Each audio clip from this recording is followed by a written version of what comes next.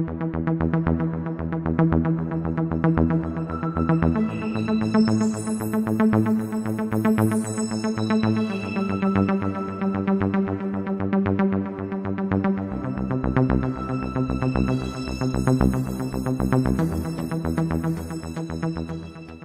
is going on, YouTube Nation? This is Darth Dividend. If you guys are new to my YouTube channel, make sure you subscribe and hit the notification bell so don't miss future videos. So yesterday, I bought a cheap stock, a very good dividend growth stock. I'm going to explain to you my rationales as to why I bought it. And man, the market is taking a hit, so I had to capitalize on this and go in. So if you're new to this YouTube channel, make sure you subscribe and hit the notification bell so don't miss future videos. Smash that like button. Let's check this cheap dividend stock out right now. That cheap stock I bought was KeyCorp. I'll reveal to you how many shares I bought and my estimated dividend income with all these shares that I have with KeyCorp. It's sitting at 1072. It has a dividend yield of 7.65%. That is high, so I am aware that things can go bad look at this in the past five years okay it's down 46.10% as compared to the s&p which was 48.59% up so in the past five years man it was like it was getting there it was kind of close with the s&p took a huge nosedive during the pandemic its low was 919 before the pandemic hit it was 1973 and it's still struggling. So I'm capitalizing. PE ratio is 7.15. The average volume is 13.28 million. The market cap is 10.03 billion US dollars. Its year range is 854 to 2030. Oh yeah, I'm capitalizing on that for sure. Day range is 1062 to 1106 and its previous close was 1104. So I'm going to explain to you my rationales as to why I buy KeyCorp. So Wikipedia made this like 10 times easier to sum everything up. So KeyBank is the primary subsidiary of KeyCorp. So I actually have a KeyBank cashback card. The American Regional Bank headquartered in Cleveland, Ohio, and is only the major bank based in Cleveland.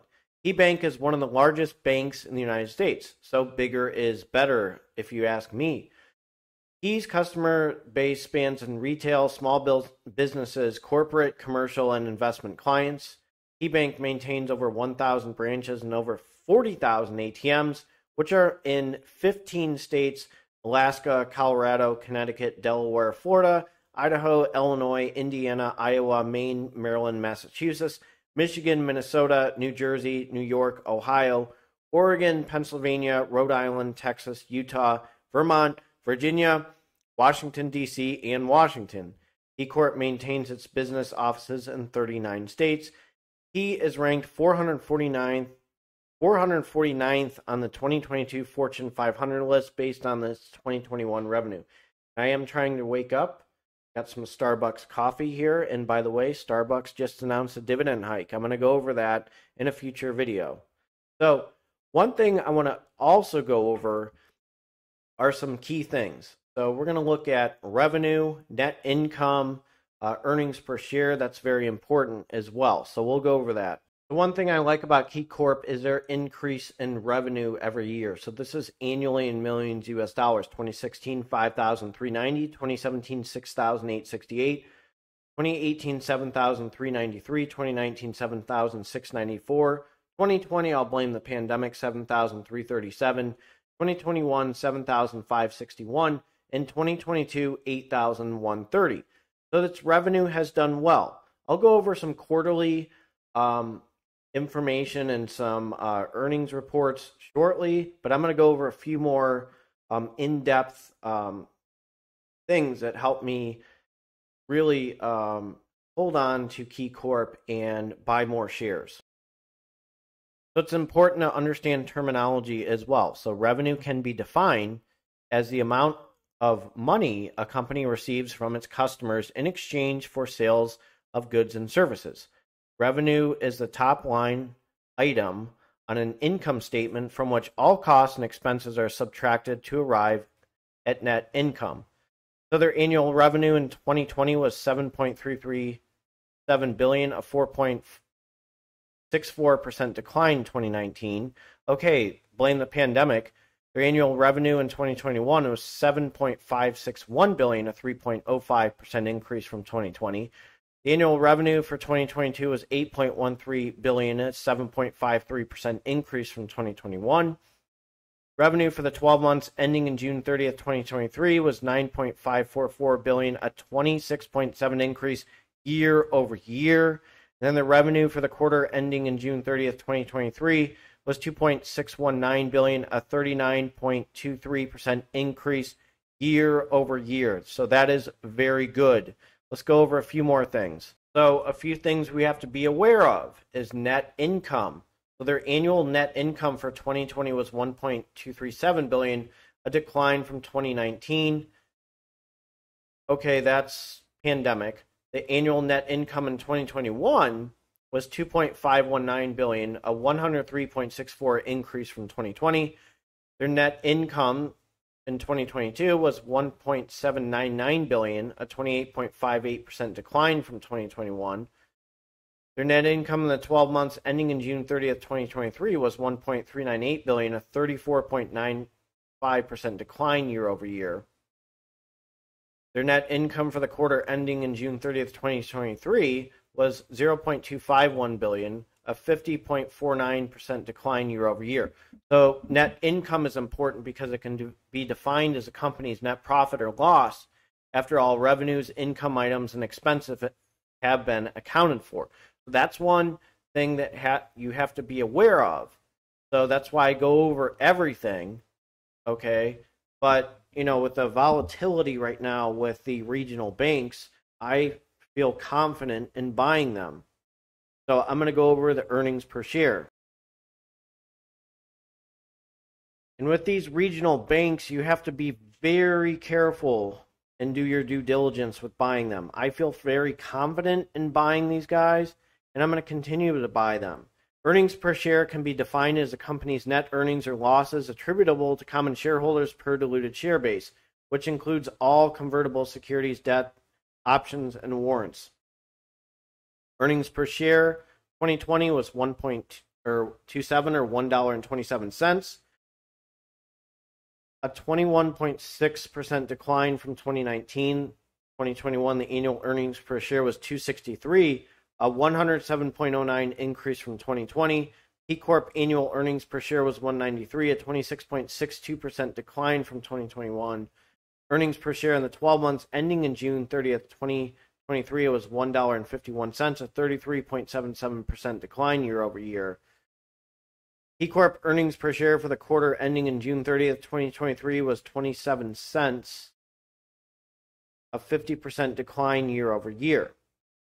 So you have to be very um, cautious with making uh, these type of decisions and I still really like these guys, and the one thing that has me still buying them is their size. If they didn't have a lot of size and they weren't big, I don't know if I would have considered buying them. I'm going to go over a few trends as well. I also want to go over one more thing is their gross profit. The gross profit can be defined as the profit a company makes after deducting the variable costs directly associated associated with making and selling its products or providing its services. The annual gross profit in 2020 was 6.86 billion, a 4.99% increase from 2019. Gross profit in 2021 was 7.265 billion, 8.66% increase from 2020. The gross profit in 2022 is 7.245 billion, a 0.28% decline from 2021. The gross profit for the 12 months ending in June 30th, 2023 was 7.064 billion, a 2.3% decline year over year. Gross profit for the quarter ending in June 30th, 2023 was 1.587 billion, 11.09% decline year over year. So I wanted to go over that, but I'm going to show you their earnings per share a little bit and their trends, which is not too bad. So studying their trends, and again, the financial sector you have to be very careful with with some of your purchases because there can be a risk of a dividend cut. A lot of REITs are taking a hit as well. I'm going after the financial sector and real estate sector for this reason because they're taking a beating. Could it blow up in my face? Absolutely. But hey, I'm going after them and I like what I see because there's a lot of red. So here's our quarterly um, earnings per share for the past 12 months and the trailing uh, 12 months. So it was 12 cents, 17, 57, 73, 65, 54, 55, 39, 30, 27. And then the trailing 12 months, 115 127, 176, 232, 256, 247, 228, 218, 193, 178, and then 151. Or, and again, um, their trends have slowly increased over time, which increases my confidence. So I'm seeing more trends up. Now it looks like a slope up and down, but again, it's slowly going up and then it goes back down. But consistency is key. And I know we're in a weird market right now.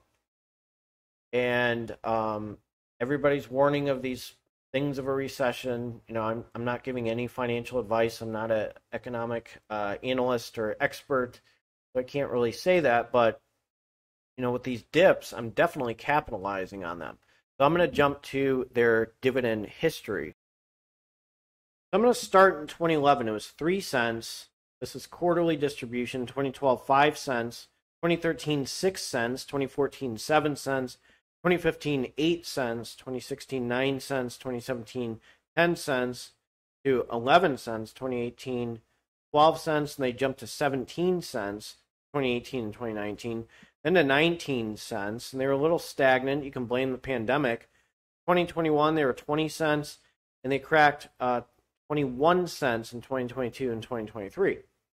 So, according to Zacks, they have a payout ratio of 50%.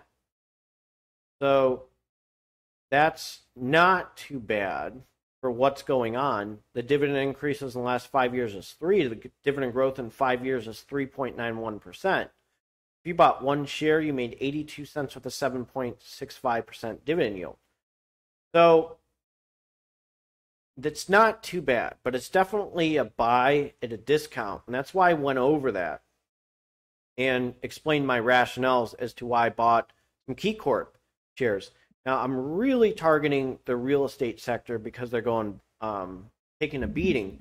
But the other uh, banks I've been buying, uh, or financial sector stocks, regional banks, I've been targeting them as well. And some of them are in SCHD ETF.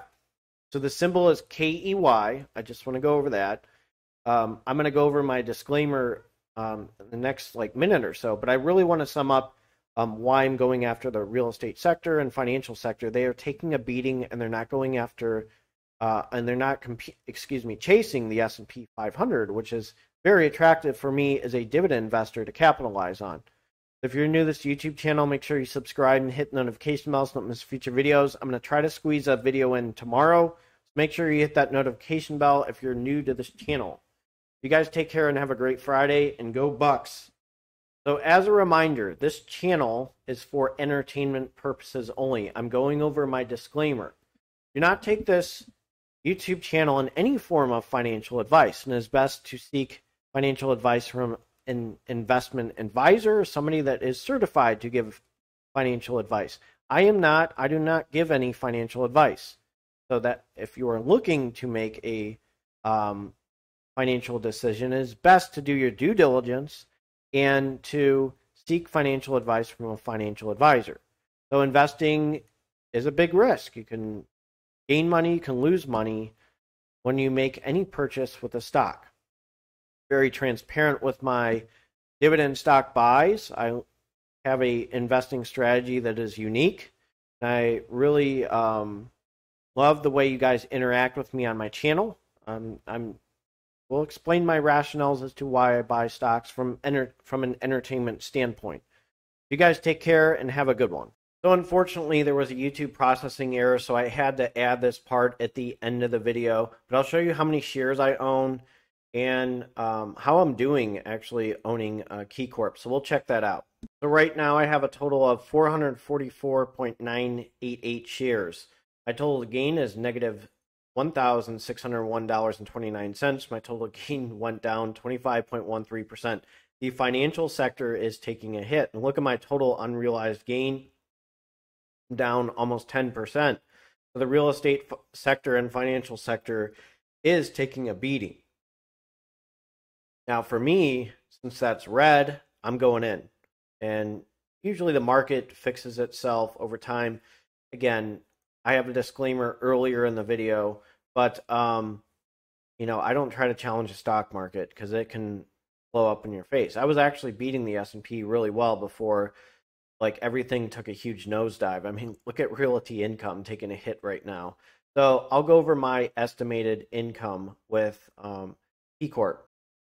And with KeyCorp, my estimated dividend income is at $91.22. So I'm getting very close to earning $100 quarterly in dividend income. So I wanted to show you guys how many shares I own and what I plan on doing with that. And just to show you how bad the financial sector and real estate sector took a hit. So I hope you enjoyed my video. And again, subscribe for future videos.